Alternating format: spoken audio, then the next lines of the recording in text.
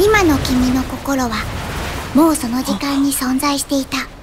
君の心が過去に戻ったこと自体もともと起きていたことなんだ。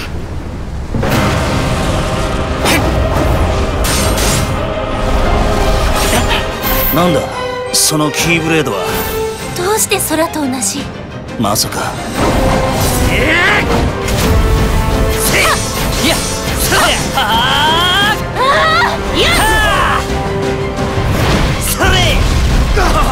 カイリの心はまだ消えてない。命は消えてないってことだろ？でも状況はこの間より深刻だよ。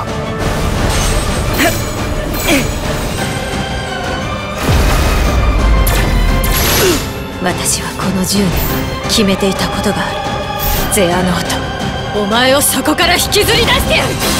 それ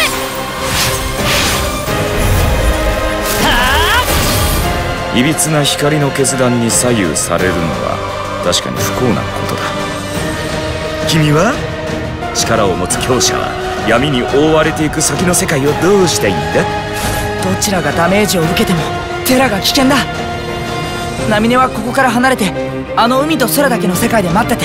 空は？